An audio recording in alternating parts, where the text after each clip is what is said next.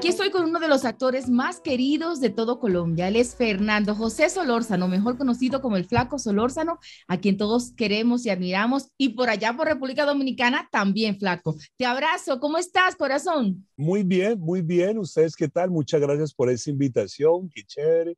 Por allá comunicándome pues en República Dominicana, imagínate, ¿sí? Uno de mis anhelos es poder conocer esa bella isla.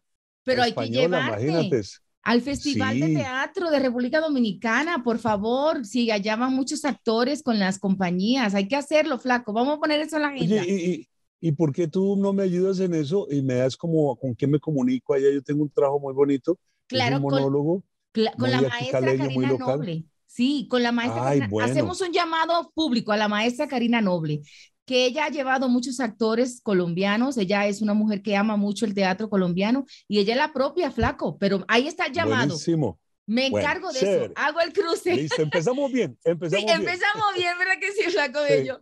Mira, Flaco, yo tengo muchos años siguiendo tu carrera, tengo muchos años vinculada a Colombia, pero tengo que confesarte que en la primera que me concentré fue en El Rey, la película que hiciste del Rey, que no sé si llegó por la isla o por Estados Unidos, donde también está nuestra audiencia, pero aquí en Colombia fue un gran éxito y ahí yo empecé a ver ese gran actor que tú eres y lo querido que eres en todo Colombia.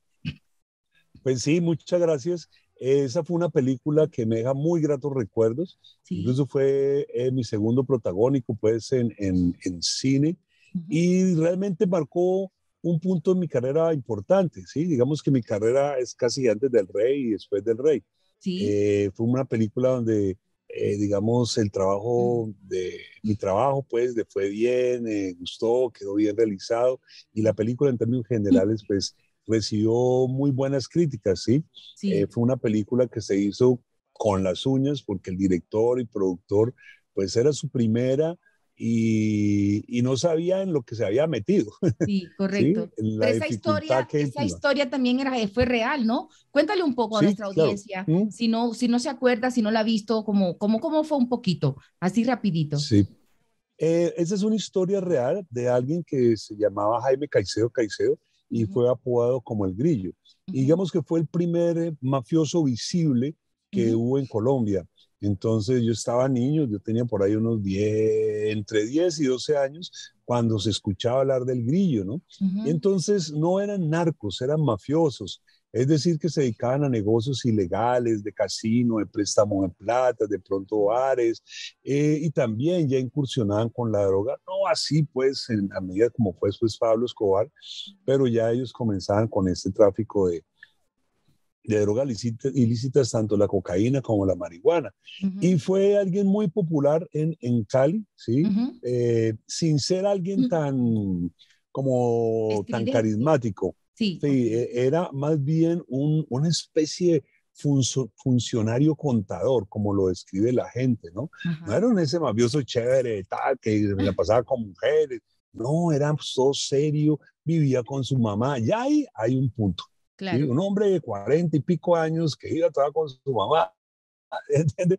Eso ya hay un punto bien, bien, bien particular del personaje. Así es. Y, y, ese fue el que le llamaron, le llamaron el grillo. Entonces el director hace una adaptación de esa historia real que se llamó El Rey.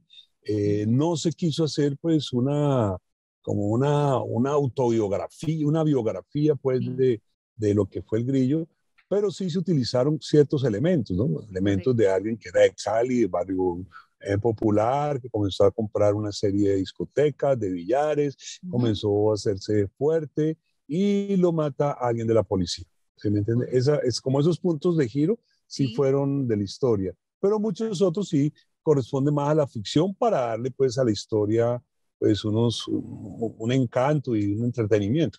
Sí, así fue, así, así lo recuerdo y me gustó mucho esa película y tu actuación y la de Cristina Umaña, la de Marlon Moreno también fueron, eh, fueron actuaciones muy icónicas y muy históricas. Pero también tú has hecho muchas historias eh, que han sido muy populares en América Latina. Por ejemplo, eh, La muñeca de la mafia, ese personaje que hiciste ahí, esa la vieron mucho en República Dominicana y en Estados Unidos. Y también, y también el, el, cartel de los sapos. Digamos que, pero, pero eso no te ha tildado ni te ha encasillado del todo en, en actuaciones de, de traqueto. Tú has hecho de todo, flaco. Sí, sí he hecho de todo. Eh, pero cuando incursioné en la mafia, la mafia me atrapó.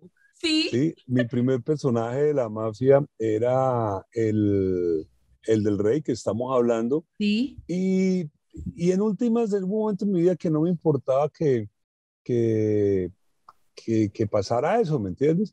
Entonces me hice el cartel, las muñecas de la mafia, estuve en El Señor de los Cielos, estuve en El Chema, estuve en la, en, en la saga, estuve en... Estuviste en, muchas, yo La, la Viuda Negra. Sí. Y todas son de mafiosos. y hace poco estuve en la, en la, en la tercera temporada de, de La Reina del Sur y, y esta vez me tocó de, de cura. Flaco, tú, tú después de vivir mucho tiempo en Bogotá, decides regresarte a Cali, donde estás actualmente. ¿Qué pasó? Si fue por la pandemia o qué, ¿por qué esa decisión? Bueno, fueron varias cosas. Eh, digamos, mi mujer, eh, de ahora con la que llevo ocho años, es caleña. Y en un momento dado, viviendo en Bogotá, decíamos, pues vámonos para Cali. Oye, me propone, ay, volvámonos para Cali, eh, que, que, es chévere, que tal, que se ve mejor. Y me daban ganas, pero a la vez me daba cierto temor porque, pues, o sea, pues yo llevo 40 años viviendo en Bogotá. Entonces, mi vida la he hecho en Bogotá, mi mundo social, mi mundo laboral, todo, ¿me entiendes? Y cambiar es cambiar. ¿Me entiendes? No hay nada que hacer. Así por más que quieras regresar y tener vínculos en Bogotá, tú vives en otro lugar.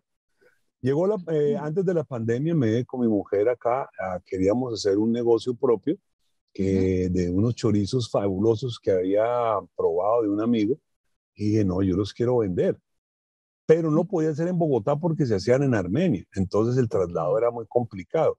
Desde Armenia a Cali, para los que no conocen, es, más fácil, son, está a dos horas. En cambio, Armenia, Bogotá, hay que pasar la cordillera y eso está como a ocho horas. Entonces encarecía mucho. Sí. Entonces dijimos, hagámoslo en, en Cali, tenemos un local en la casa de Lorena y vinimos, entonces decíamos choripán. Y hacemos unas cosas espectaculares. Sí, de comida. ¿Y te gusta cocinar? ¿Te gusta cocinar, flaco, eso qué? Sí, me gusta, pero realmente ahí era solamente chorizos, ¿me entiendes? Entonces teníamos choripán, choripapa, chorizo granado, todo con el chorizo. O sea, no era un restaurante, era un sitio de comida rápida de chorizo. Y estaba yendo bien, yo quería hacer como dos o tres puntos pequeños y estaba funcionando y llegó el 20 de marzo, que fue cuando aquí en Colombia encerraron a todo el mundo. Sí. Y llegó la pandemia, esa, esa pandemia tan fuerte y esa cuarentena tan fuerte que duró seis meses. Sí. Seis meses y no había trabajo en ninguna parte. Sí me salió trabajo en, en Cali, con la alcaldía. Y ahí es donde tomó la decisión. Dije, no, pues yo me voy para Cali de una y de allá me voy para allá.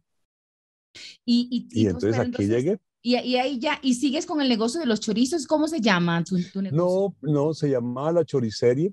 Ya la quitaste. y la quitamos, no hay mismo, le resistimos un tiempo, incluso eh, hubo varios problemas, tanto nosotros como el que producía los chorizos, también lo afectó mucho el paro, eh, digamos, el, el, levantamiento social que hubo pues en Colombia, sobre todo en Cali el año pasado, en la ciudad fue muy fuerte, ¿me entiendes? Eso se cerró prácticamente dos meses radical y duró otro mes ahí más o menos. Sí, señor. Entonces ahí tomamos la decisión de, dejarlo porque eh, no, digamos, no producía pérdidas, pero tampoco ganancias y el trabajo era fuertísimo. Entonces era un desgaste que no, como que no compensaba, ¿sí me entiendes? Sí, Entonces decidimos dedicarnos a, a, a, lo que sabemos, zapatero a tus zapatos. Así es. Y, y, entonces comenzamos a hacer cosas en Cali y ahora tengo un proyecto muy especial. Me dicen que vas a poner una escuela de actuación para que vengan estudiantes del mundo entero.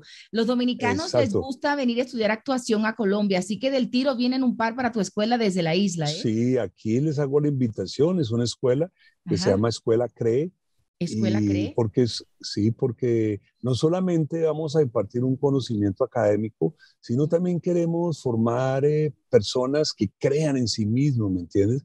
Gente empoderada, gente con, con mucha autoestima, ¿sí? Eh, jóvenes muy luchadores y, y unos actores mm, no tan pasivos en el sentido de que siempre el actor tiene que esperar que lo llamen y si no lo llama un director, un productor, entonces se queda uno ahí vaciado.